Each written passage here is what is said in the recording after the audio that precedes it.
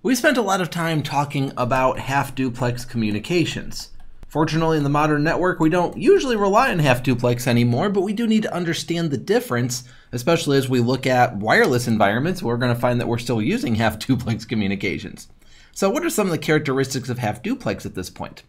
Well, first of all, we know that we can only have a single transmission at a time uh, in a half duplex environment, and that's specifically relating to the medium that we are sharing. Furthermore, I can only transmit or receive at the same time. I can never do both at once. And lastly, we just mentioned this, that the bandwidth is shared, meaning that if I've got a thousand hosts all sharing a, let's say, 10 megabit per second Ethernet, through all these hubs. We've got a thousand hosts. We've just got so many that are uh, connected into this network, but each one can only transmit when nobody else is talking, which means that we're actually dividing this bandwidth out among the thousand hosts. And so, on average, each host is really only able to transmit at 10 kilobits per second, which is one one thousandth of 10 megabits per second. So, this is kind of a big deal. But the problem is that until now, we have only ever been able to consider half duplex operation. The reason for this is because the medium has been shared. But we also just called out that now we've got network switches and we're no longer sharing a medium.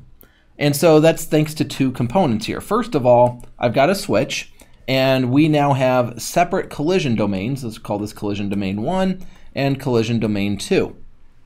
And so that's good. I have split off the collision domain, so now when I have a host here, I only have to worry about the switch on the other side.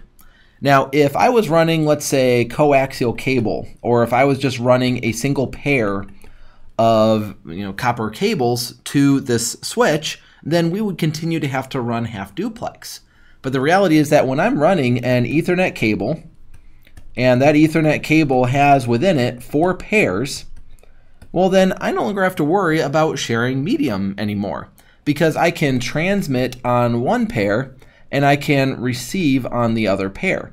We spent quite a bit of time talking about this earlier on in the course and aligning, for example, a host to a switch such that we make sure that we're in alignment this way. So the transmission is sent on the same pair that I'm expecting to receive on and vice versa. So between the fact that we have a point-to-point -point connection and the fact that we are not sharing the medium, we can now move to a new type of communications that we can call full duplex. Full duplex flips the whole half duplex thing on its head. It makes it so that we have a brand new set of characteristics. First of all, we can have many transmitters at a time. Basically, anyone can transmit whenever they want. And the reason is right here. We just saw it. If I want to transmit, then you'll be able to receive it. And if I start transmitting at the same time you start transmitting, we're using two different pairs. And as a result, I can receive your transmission while you're receiving my transmission. And our transmissions never overlap in any kind of destructive way. So we can both transmit at the same time. Second of all,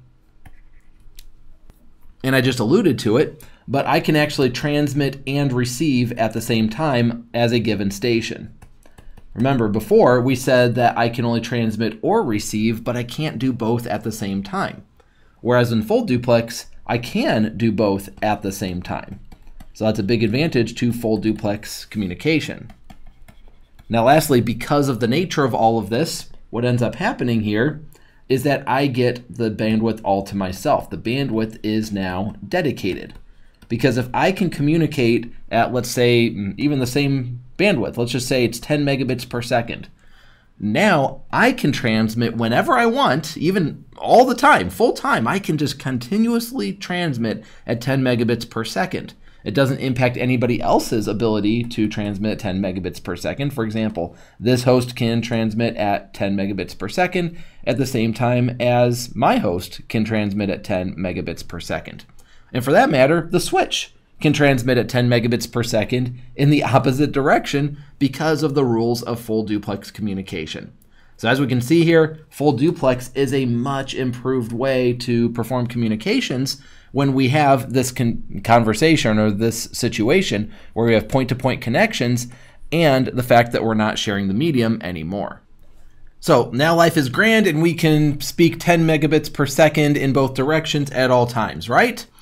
Unfortunately, that's not the case. 10 megabit per second it doesn't actually allow for full duplex communications like this.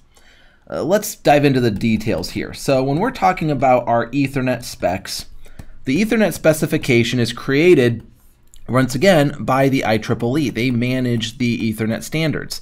And we need to make sure that multiple vendors, such as Cisco, among others, let's just say uh, Cisco is vendor A, and then we've got a vendor B, that we need the ability for these two devices to communicate with each other when we connect them via an Ethernet cable. And so we have this IEEE in place. They're going to create Ethernet specs, and that means that everybody needs to follow the rules as much as possible in order to create this type of ecosystem. Well, some of the rules that the IEEE created don't allow us to do everything that we might want to do. For example, 10 megabit per second Ethernet actually requires half duplex operation.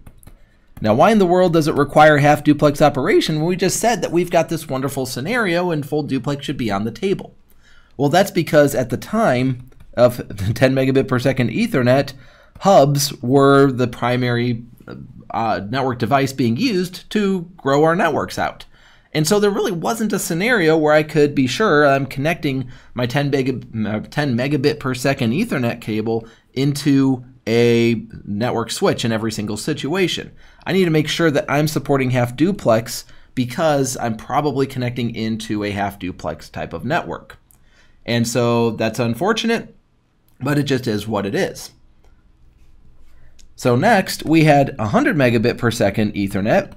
And the good news is switches have started to come out. And so what we're going to find, though, is that back in this era, we had hubs and switches in place. And so we needed to work, be able to work with both. And so 100 megabit per second Ethernet has both half and full duplex operation. And we need to make sure that we are matching our duplex with the device on the other side. We're going to be talking about how confusing this can be coming up in this course because unfortunately, this can create some amount of confusion, especially when we think we're running, let's say, full duplex, but we're actually running half duplex on a connection. That can actually happen, and it happens very frequently with 100 megabits per second, which once again is known as fast Ethernet. So anytime we refer to fast Ethernet, we're talking about 100 megabits per second, and we might see that that's running in half and full operation. Now next we have 1000 megabits per second. So surely at this point we're at full duplex, right? Unfortunately, it is going to support half and full duplex per the spec. Now, a very important nuance to this and a very important caveat is that Cisco looked at this and said, you know what, we follow the specs as much as we can, but we're not going to follow the specs. We are not going to support half duplex we are going to support full duplex only. This is a Cisco decision. This is not something that's going to apply to every gigabit device that's out there. You might find gigabit devices that support half duplex operation, but it won't be a Cisco switch. If a Cisco switch is running in a 1000 megabit per second mode, it is going to be running at full duplex. Now, anything finally above 1000 megabits per second, I'll write this uh, over here, so anything over uh, 1000 megabits per second, so we're talking about 2.5 gig, 5 gig, and 10 gig, all of these only operate at full duplex. So finally, we got rid of half duplex operation, but it required us going to multi gig and 10 gig in order to do that. Thanks for watching. Be sure to click here to subscribe to CBT Nuggets and click the notification bell to make sure that you're aware of every time we post new content. If you're interested in a career in IT or you want to brush up on your IT skills, then swing over to our website and while you're there, be sure to sign up for a free trial.